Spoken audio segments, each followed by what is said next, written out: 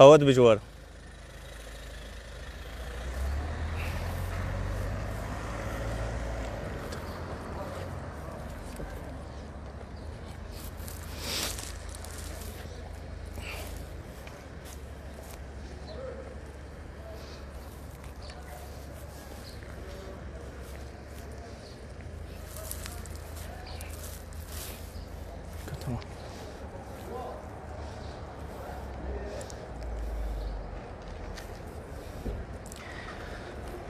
صباح الخير لكم جميعا. أنا الآن متواجد في دوار الوحدة آه، ويعد هذا الدوار المدخل الرئيسي إلى حي طي جنوب مدينة القامشلي.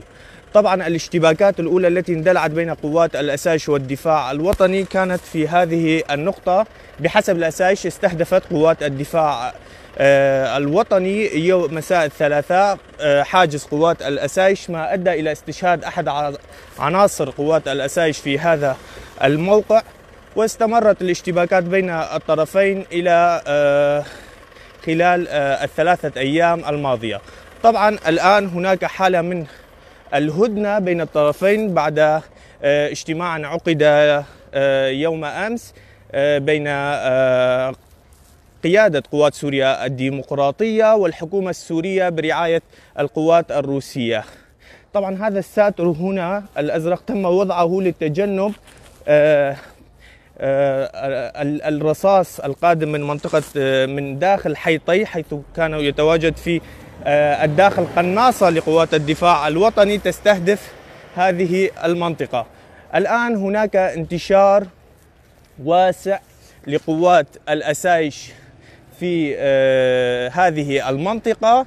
وكذلك بحسب تواصلي هنا مع بعض مقاتلي قوات الأسايش فأن آه، قوات آه، الأسايش تسيطر الآن تقريبا على معظم حي طي بعد تراجع قوات الدفاع الوطني باتجاه جنوب المدينة. هناك في هذه اللحظة مفاوضات تجري بين قوات سوريا الديمقراطية والحكومة السورية برعاية آه، القوات الروسية من أجل التوصل إلى هدنة دائمة ووقف الاشتباكات. طبعا بحسب المعلومات والمصادر فإن قوات الأسايش لن تنسحب من المناطق التي سيطرت عليها وبالعكس تماما هي تدعو إلى السيطرة الكاملة على حي طي وإنهاء تواجد قوات الدفاع الوطني داخل هذا الحي خاصة وأن الإدارة الذاتية وقوات الأسايش اتهمت مرارا قوات الدفاع الوطني بالوقوف خلف عمليات آه، تفجير واشتباكات وكذلك استهداف آه، مدنيين واستهداف حواجز آه، قوى الأمن الداخلي في مدينة القامشلي. الحكومة السورية يبدو أنها إلى الآن لم تتدخل لصالح دعم تقديم الدعم العسكري لقوات الدفاع الوطني. آه، خاصة آه، فإن امتداد هذا الحي يصل إلى آه، فوج طرطب والذي يتواجد فيه جيش الحكومة السورية. بكل تأكيد تشير المصادر والمعلومات بأن تقديم الحكومة السورية لأي مساندة عسكرية قوية لقوات الدفاع الوطني قد يوسع دائرة الاشتباك بين الطرفين لتشمل المربع الأمني وسط مدينة القامشلي وكذلك المربع الأمني في مدينة الحسكة وقد تصل وقد يصل التوتر بين الطرفين إلى مناطق عين عيسى وحتى حلب وريفها.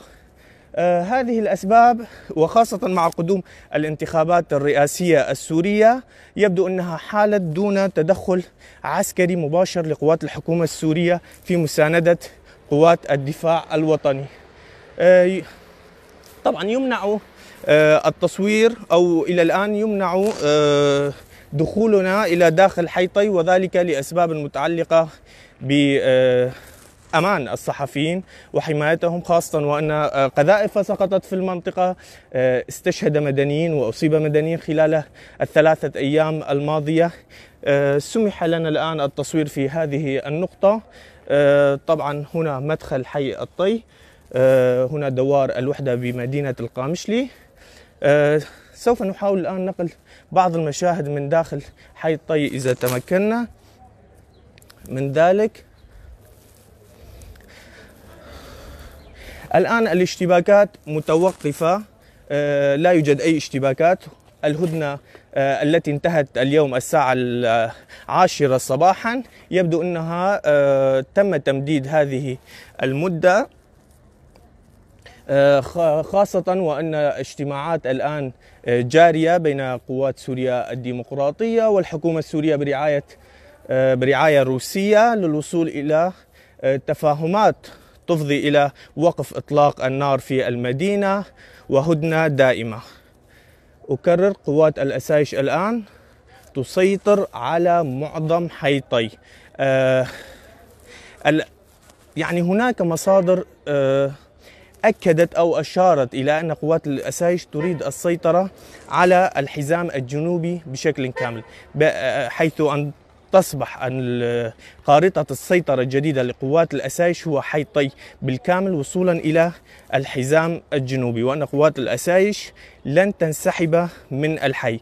كان هناك اقتراح روسي مساء أمس كذلك اقترحته الحكومة السورية بنشر قوات شرطة المدينة وهي قوات تابعة للحكومة السورية أي الشرطة آه، المحلية التابعة للحكومة السورية في حيطي في المناطق التي كان يسيطر عليها الدفاع الوطني وتراجع الدفاع الوطني إلى مناطق وقرى وجنوب مدينة القامشلي. لكن قوات الأسايش رفضت هذا الاقتراح خاصة وأنها آه، يعني تقدمت بشكل كبير داخل الحي والآن هي تسيطر تقريبا على معظم الحي وهي تريد فرض سيطرتها الكاملة على آه، حيطي كونها تعتقد بأن أي تواجد للحكومة السورية أيضا في هذا الحي قد يؤدي في المستقبل إلى عودة قوات الدفاع الوطني إلى هذا الحي وإلى آه، نقاطه السابقة آه، في هذه المنطقة.